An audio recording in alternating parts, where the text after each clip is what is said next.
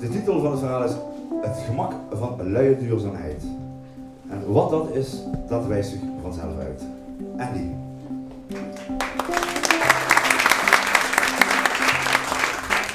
Ik zit hier lekker met mijn kopje thee. Jullie zitten ook allemaal gewoon lekker wat te drinken, dus ik denk ik schuif gewoon aan. Ik leef, woon en werk vanuit luie duurzaamheid. En waar ik jullie nou een heel klein beetje mee wil nemen is dat het heel veel voordelen heeft. Duurzaamheid, nou dat is eigenlijk een idee wat nu werkt en straks ook. We pakken het even heel simpel naar de kern. Dat heeft ook te maken met die luiheid. Luiheid betekent niet dat je iets niet doet, maar het betekent eigenlijk dat je heel goed oplet. En als je goed oplet, dan kun je ook echt lui zijn. Want dan pak je gewoon dat wat nodig is. Je let dus goed op wat iemand zegt. En je weet wat hij bedoelt. En dan hoeft hij het niet twee keer te vertellen en hoef jij niet twee keer te luisteren. ik ben dus iemand die gewoon van harte lui is. En vanuit die luiheid heb ik uiteindelijk een verhaal ehm, laten ontstaan. Uh, wat uiteindelijk, wat ik dan nu duurzaamheid noem. Ik woon in een huis, uiteraard, dat duurzaam gebouwd is. Maar het is atypisch gebouwd. Het is niet een gewoon duurzaam huis. De meeste duurzame huizen, dan woon je eigenlijk in een thermoskan en dan verzinnen ze een heel slim verhaal voor de ventilatie en dat is het dan. Wij hebben dat anders gepakt. Wij hebben het verhaal gepakt vanuit de natuur. In de natuur stroomt alles. Dan kom je weer uit bij die luie duurzaamheid. Lucht stroomt. De zon is aanwezig. Hout is er. Alles hernieuwbare bronnen. Dus dat huis van ons, dat werkt op basis van dauerlifters. In dat huis wordt permanent geventileerd op een natuurlijke manier. Kost mij geen moeite. We hebben die dingen openstaan, dag en nacht, zomer en winter. En ik kan je vertellen dat wij een energierekening hebben van 300 euro per jaar. Dat is niet nou ja, ik heb uh, eh, 9 juni hebben een open dag, dat noemen we een verwonderdag. Dan ben je welkom in de Rot leuk plekje in de schaduw van het bergdorpje Veilen. En wij kijken daaruit, uh, daar over uh, het Geldal. Schitterende plek, heel leuk huis. En dan kun je een beetje komen ontdekken wat wij daar doen. En als je wil weten wat dat is, dan kijk je op de website van uh, Incenso, is incenso.com. En daar vind je alle ins en outs over uh, wat we daar uitspoken. En datzelfde geldt ook voor de website van ecohut.nl, daar vind je alles over het huis. Want ik heb hier geen plaatjes, dat is ook helemaal niet nodig. Het gaat mij gewoon meer om jullie mee te nemen in iets waarvan ik zeg ja, het kan makkelijk anders. Daar hoef je niet zo heel erg veel voor te doen. En wat hebben we er ook nog gedaan? We hebben die 300 euro per jaar, die hebben we nu nog eens een keer omgezet in winddelen. Dus we hebben een aandeel genomen in de grote windmolen. En daar hebben wij eenmalig uh, wat certificaten voor uh, afgenomen. Daar hebben wij 1000 euro voor betaald. En daarmee hebben we de komende 12 tot 15 jaar wij gratis stroom. Dus die 300 euro is op dit moment naar nul teruggebracht. Door een heel klein beetje energie ergens in te steken en het heeft heel veel energie opgeleverd. En dat is ook weer het verhaal van de luie duurzaamheid. Je doet een heel klein beetje en dan let je heel goed op wat je doet. En dat mag vanzelf mag dat iets voor jou gaan doen. Ja, hoe dat dan verder uitpakt, dan kom je dus uit bij uh, jezelf. Want ik heb net verteld dat ik woon, leef en werk vanuit luie duurzaamheid. Dus wat ik doe, ik breng mensen in contact met zichzelf. Hoe ze weer oprecht lui kunnen zijn. Dus eigenlijk weer eens ruimte krijgen voor zichzelf. Zonder dat ze daar, weet ik veel, voor spannende dingen voor moeten doen. Door gewoon eens de zaak te pakken vanuit de kern van wie ben je eigenlijk en wat heb je eigenlijk nodig. En daar kan ik dus hele mooie voorbeelden van zien, want zo woon ik dus zelf en zo leef ik zelf. En daarmee kom je vaak uit bij iets waarbij je zelf heel goed weet wat goed en wat niet goed voor je is, maar dat je daar vaak niet op durft te vertrouwen. Ja. Maar dat vertrouwen, daar kan ik dus bij helpen. Dat vertrouwen heeft iedereen zelf. Dat is niet iets wat je krijgt van een ander. Het is eigenlijk meer iets wat je bij jezelf omhoog kunt halen. Maar dan moet je daar wel weer een beetje ruimte voor nemen. Moet je een beetje afstand van nemen. Moet je eens gaan kijken wat je eigenlijk doet. Welke patronen je kiest. Ja. Wij hebben dus andere patronen gekozen. Behalve dat duurzame huis rijdt dus ook in een Prius. bijna cliché. Maar waarom heb ik dit gedaan? Ik heb dat gedaan omdat die Prius, um, die vraagt gewoon veel minder uh, brandstof. En ik weet zeker dat als ik die Prius over een paar jaar wil verkopen, dat ik die heel goed kan verkopen. Want tegen die tijd wordt dat een heel hot item. Dus wat wij doen is gewoon goed luisteren naar van wat vinden we zelf belangrijk En wat is daarvoor nodig? Dat betekent dus ook dat ik heel vaak de bus pak. Ik stap gewoon in de bus. Bij ons, eh, als je naar de grote weg gaat, de Ruiksweg van Vaals naar uh, Maastricht, gaat elk kwartier gaan een bus. Dus daar kun je ook heel goed met openbaar vervoer. Dus ik maak een mix. Mijn auto is een deelauto. Als je naar mywheels.nl gaat, dan kun je gratis je auto aanmelden. Die mensen hebben, dus op non-profit uh, basis, die hebben een heel slim systeem bedacht om te zorgen dat de auto dat die beter gebruikt wordt. Een auto die staat 23 uur per dag stil, gemiddeld in Nederland. Ik wist niet of jullie dat wisten, maar dan weet je het bij nu. 97% voor de potentie van de auto wordt gewoon niet gebruikt. Want iedereen wil een eigen auto hebben. Terwijl uiteindelijk gaat het niet erom dat je een auto hebt, maar dat je een auto kunt gebruiken. En zodoende heb ik die auto voor mij aangemeld. Hij staat waarschijnlijk als enige aangemeld in het hele bergdorpje. Ik verwacht ook niet dat morgen iemand komt om hem te huren. Maar wat ik daarmee heb willen proberen te doen, is uh, zichtbaar maken dat het anders kan. Zo rijden we ons in het bergdorpje, rijden bijvoorbeeld een elektrische tuk-tuk rond. Gewoon vanuit het idee, nou je kunt dingen in het buitengebied, want je zit in het buitengebied waar heel veel mensen heel graag komen recreëren, ze komen wandelen, komen fietsen, ze komen van alles doen. Ze willen graag onthaasten. En die tuk-tuk die is stil en schoon. En dat is precies een, een kwaliteit die je nodig hebt in het buitengebied. Nou, zo kun je dus op een andere manier naar gaan kijken. Ik noemde net het woordje onthaasten. Mensen willen graag onthaasten, maar ze hebben dan vaak niet in de gaten dat ze eigenlijk kiezen voor een bepaalde spanning. Je kiest ervoor, en ik kom even terug op die, die 300 euro per jaar. Kijk, als jij elke maand 100, 200 euro eh, energiekosten moet betalen, dan moet je daar ook een x aantal uur voor werken. Mhm. Hoef jij die 100, 200 euro per maand niet te betalen, dan heb je die tijd, die heb je over. Die kun je besteden aan werken en dan kun je er andere dingen mee doen. Maar je kunt het ook besteden aan niks doen, bijvoorbeeld. En zo kom je uiteindelijk, als je daarnaar gaat kijken, kom je eigenlijk telkens tot hele verrassende, ja, ik noem dat verwondering.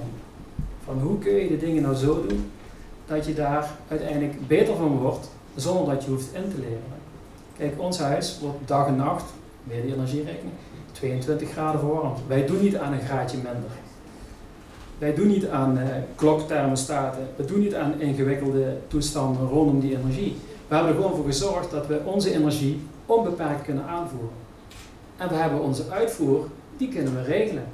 Dus in ons huis, als de zon begint te schijnen, ik vertel altijd, dan begin ik te glimlachen. Want dan gaan onze zonnecollectoren, die gaan heet water produceren. Onze zonnepanelen, we hebben er helemaal niet veel. Die gaan een derde van onze totale energiebehoefte die we nodig hebben op jaarbasis, beginnen die bij elkaar te pruttelen. En de zon halen we rechtstreeks binnen met solar tubes. En tal van manieren laten we die zon gewoon door ons huis spelen. We hebben overal deuren met glas. Als het licht één keer binnenkomt, we het gewoon overal naartoe stromen. Daar hoef ik verder niet voor te zorgen, ik hoef er geen lamp voor aan te maken. En het levert gewoon heel veel leefgemak op. Het levert gewoon heel veel plezier op om gewoon in je eigen huis te zijn. En daar hoef je niet over na te denken. En dat vind ik de fijnste manier. Dingen doen zonder dat je echt de hele tijd over moet gaan nadenken van wat ben ik eigenlijk aan het doen. Nee, die dingen mogen vanzelf gaan. Luie bier zo. Maar ik neem even een stokje thee. Ik zit de hele tijd met mijn duim erin, dat is niet zo fijn. Ik had het net over onthaasten. Mensen uh, hebben vaak niet in de gaten uh, hoe eenvoudig je eigenlijk uh, je leven een, een andere koers kunt geven. Ze hebben vastgesteld, hele knappe DNA-mensen, die hebben vastgesteld, er zijn vier dingen, als je je daaraan houdt, dan ga je veel vitaler voelen. De eerste is gezonde voeding. De tweede is gezond bewegen. De derde is geen stress. En de vierde is zonlicht. Ik weet niet of iemand alle vier eh, voor elkaar krijgt. Maar ik kan je vertellen, de meeste mensen die hebben nogal een stressfactor in hun leven. Er zijn cijfers van bekend. 1 op de 3 werkende Nederlanders heeft stressklachten. 1 op de 8 werkende Nederlanders heeft een burn-out. Als je even kijkt, gewoon even naar die droge cijfers. Meer dan een miljoen Nederlanders zit aan de antidepressiva. En antidepressiva, dat is niet zo heel erg fijn. In Amerika spreken ze over de Prozac killings. Die, uh, die stoffen die kunnen je persoonlijkheid veranderen op het moment dat dat niet helemaal lekker zit. gaan we naar die cijfers kijken, dan kun je gewoon voor jezelf nagaan dat we eigenlijk allemaal op de een of andere manier wel maar, met stress kampen. Of in elk geval onszelf in spanning brengen. En dan heb je dus die behoefte om te onthaasten. Maar zolang je die dingen niet gaat verbinden, dan blijf je de hele tijd hier stress opbouwen en dan ga je daar stress afbouwen. De kunst is om dat samen te gaan brengen. Dat op het moment dat jij die stress opbouwt, dat je bewust bent van het feit dat je stress opbouwt, dan hoef je even later die stress niet af te bouwen. Luie duurzaamheid. En zo kan ik nog de hele tijd doorgaan. ik heb even geen idee wat de tijd doet. Je hebt nog even. Ik heb nog even, oké, goed zo. Dan ga ik even fijn door. Hoe lang wil je?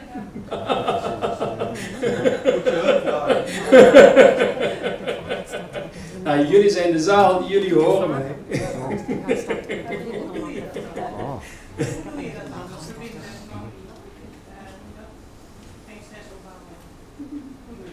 Ja, dus door op een gegeven moment te gaan kijken, eh, waar kies je voor? Waar kies je voor? Hè, nogmaals, ik heb je net heel even dat simpele voorbeeldje gegeven over die energiekosten. Wat wij eigenlijk vergeten is die energiekosten. ehm, op het moment dat jij zelfstandig gaat wonen, tot het moment dat jij stopt met zelfstandig wonen, betaal jij gewoon elke maand energiekosten. Nou, pak hem even heel, heel bescheiden. Laten we zeggen 100 euro per maand. Ja, daar zitten de meeste in. Ja, dat is 1200 euro op jaarbasis.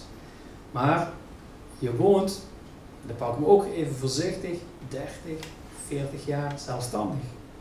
Als je dat bedrag gaat pakken, dan zou je met dat bedrag ook iets anders kunnen. Je zou het naar voren kunnen halen. Je zou bijvoorbeeld kunnen zeggen, weet je wat, dat bedrag wat ik toch eigenlijk straks gewoon blind gewoon ga betalen, dan kan ik zeggen, nou weet je wat, ik zorg dat ik dat naar voren ga halen en ik ga daar nu iets mee doen, zodat het eigenlijk voor mij iets gaat opleveren. Dat ik dat niet als een uitgave ga zien, maar dat ik het ga zien als iets wat mij oplevert.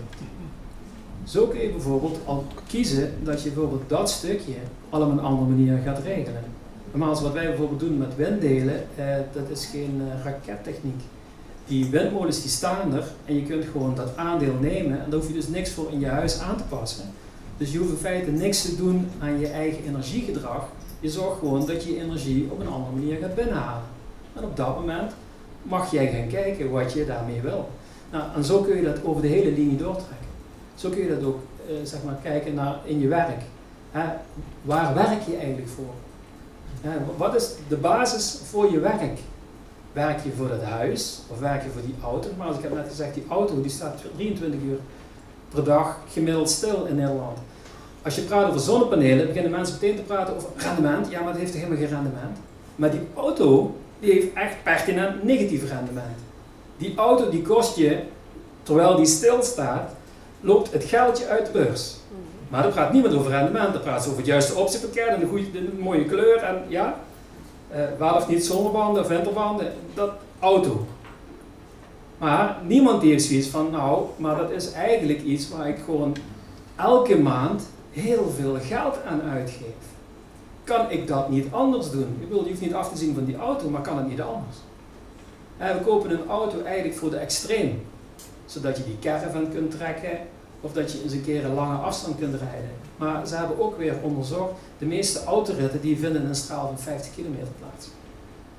Eh, dan zou je dus heel goed elektrisch kunnen rijden, maar dat willen we niet, want eh, die zou stil kunnen vallen. Dus dan gaan het, we gaan het allemaal anders bekijken. We gaan dan zeggen, ja nee, nadeel, nadeel. Maar diezelfde auto die jij nu hebt, die benzineauto, als je daar 1 liter benzine in gooit, dan wordt maar 10% van die liter die wordt gebruikt voor de aandrijving. De rest is warmte en weet ik veel. Maar 10% wordt maar gebruikt om die auto voor te drijven. Ja, zeggen we dan, ja, die elektrische auto, dat is heel erg vervuilend. Ja, maar die benzineauto, dat is een slim idee. Ja, en zo kun je telkens naar bepaalde aspecten kijken. En zo kun je kijken naar je voeding. Uh, waar voed ik me mee? Kijk, in ons huis, wat je niet hoeft binnen te brengen, hoef je naar de ook niet op te hoesten. Dit is met eten hetzelfde. Kijk, wij, wij eten biologisch, maar we eten niet biologisch vanuit uh, het principe. Maar we eten biologisch omdat dat gewoon een hele slimme vorm van eten is. Want dat is gewoon heel natuurlijk. Daar wordt niks aan toegevoegd wat moedertje natuur niet zelf kan verzinnen. Dus hoeft jouw lichaam daar ook niet werk van te maken om die toevoegingen die erin zitten, even los of ze wel of niet goed voor je zijn, maar die moeten wel weer eruit. Die moeten wel weer op de een manier uitgesorteerd worden en naar de achterdeur gebracht worden en naar buiten. Daar heb ik dus geen last van. Dus ik, aan de ene kant zit ik gewoon heerlijk te genieten, want biologisch eten is gewoon smakelijk, is puur. Eet maar als een biologische tomaat. En dan eet je daarna, eerst het handige bij die dingen is van, als jij niet biologisch eet, dan zijn je smaakpapillen een heel klein beetje zeg van streek. Want we worden vooral met zout en met allemaal, er wordt allemaal van alles aan toegevoegd zeg maar, om het maar een beetje smaak te geven. En ik heb me laten vertellen dat, dat Lipton Ice Tea, die heeft van die, van die zakjes, van die driehoekzakjes. En in die zakjes, daar zit suiker. Want het product wat erin zit, dat is zo'n bagger, dat ze suiker nodig hebben om het een beetje smakelijk te maken. En jij maar denken dat je thee in drinken bent, dat je dus met iets goeds bezig bent. Dan zeg ik van, dan kun je beter uh, naar, uh, weet het nou, Intratuin gaan, dan je daar een paar potjes uh, biologische muntthee en dan maak je je eigen thee. Nou, dan heb je al iets bereikt. Dan heb je en het plezier van die heerlijke smaak. En je zit niet met dingen waarvan je eigenlijk naar de rand denkt van, hoe kom ik er vanaf? Ja, zo kun je daar nog veel meer in vinden. Kijk, ik begeleid ook mensen. Ik heb, uh, ik heb iets bedacht, dat noem ik kietherapie. Um, ja, waarom kietherapie? Um, ik had het eerst anders genoemd, maar mensen riepen er, oh ja, heb gedaan. Ik denk dat niet hebben. Want het was wel heel anders. Het was uniek. Dus ik heb het kietherapie genoemd. En nou vraagt iedereen, wat is dat? Ja, dat is precies wat ik wilde. Ik werk met kristallen. Ik werk met kristalfrequenties. Niet zozeer met duizendbergkristallen, dat is goed daar en daarvoor. Want dat is eigenlijk weer vanuit de symptoomgedachte. Uh, ben je eigen kristallen in aan het ruilen. Uh, van wat je normaal gesproken medicijnen doet, doe je dan met kristallen. Daar werk ik niet meer. Eén minuut, oké. Ik werk dus met kristalfrequenties. En het leuke van die frequenties is, dat kun je voeden. Dus ik heb een verwonderstoel, noem ik dat. Als je bijvoorbeeld naar die verwonderdag zou komen, dan kun je dat allemaal meemaken. Dan ga je in die verwonderstoel zitten en dan ga je gewoon verwonderen. Want dat is precies wat hij doet. Je wordt gewoon eens even nieuwsgierig naar jezelf. Want je komt direct uit bij jezelf. Je bent dan niet echt bij jezelf, want je wordt dan geholpen bij jezelf. Maar als je eenmaal in de gaten hebt hoe je jezelf smaakt, dan is dat een smaakje die je uiteindelijk gaandeweg steeds vaker zou willen smaken. En daarmee heb je eigenlijk voor jezelf een stukje motivatie gevonden om dat ook te doen.